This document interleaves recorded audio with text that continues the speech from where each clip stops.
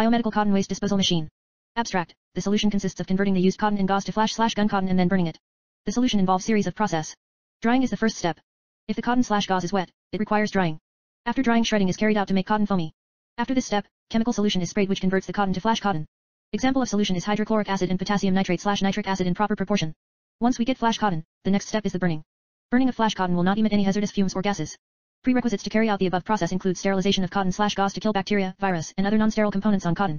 One introduction currently the cotton and gauze waste generated in hospitals, clinic, and other medical facilities involves a disposal procedure wherein a private or government body collects the waste and then disposes subsequently. This body charges hefty amount to hospitals for their service. The hospitals besides also needs to store the used cotton and gauze until the next collection drive takes place. If in a medical facility the generation of cotton waste is at very lower rate, the facility needs to store it for days until an appreciable amount of waste is generated and then send it for disposal. Storage of such cotton and gauze is hazardous from medical point of view. Therefore, there is a need for solution that can immediately dispose the cotton waste at the source of its generation.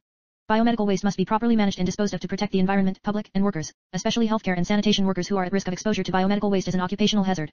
The solution also needs to be an easy process to carry out in medical facility. The solution must be economical when compared to conventional disposal method. Block diagram, biomedical cotton waste disposal machine. Block 1, sterilization and dryer. Sterilization refers to any process that removes, kills, or deactivates all forms of life, in particular referring to microorganisms such as fungi, bacteria, viruses, spores, unicellular eukaryotic organisms such as plasmodium, etc. Sterilization is distinct from disinfection, sanitization, and pasteurization, in that those methods reduce rather than eliminate all forms of life and biological agents present. After sterilization, an object is referred to as being sterile or aseptic. A pipe is attached to the lid of the shredding machine, which will be connected to the dryer container. In this container, the shredded cotton pieces will be placed with the help of suction created by the vacuum, which is attached outside the container. The dry cotton pieces will be forwarded to the solution sprinkler container.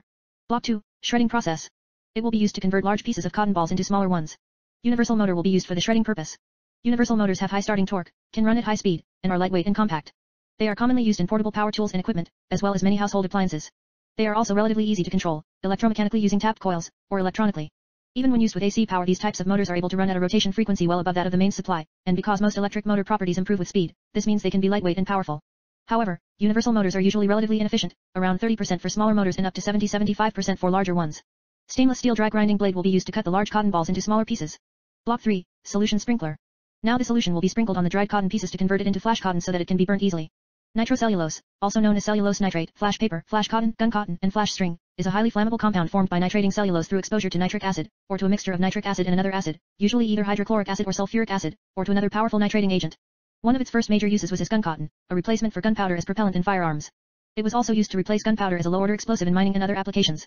Nitrocellulose products are generally a mixture of mononitrocellulose, dinitrocellulose, and trinitrocellulose, where each glucose unit in the cellulose chain has one, two, or three nitro groups, respectively. There are several mono and diforms depending on which of the three slots have nitro groups. The flash cotton balls produced are dropped into the burning chamber. Block 4, burner system.